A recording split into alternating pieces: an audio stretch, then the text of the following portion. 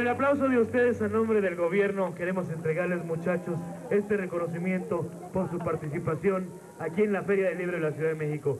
El otro yo. El aplauso para ellos.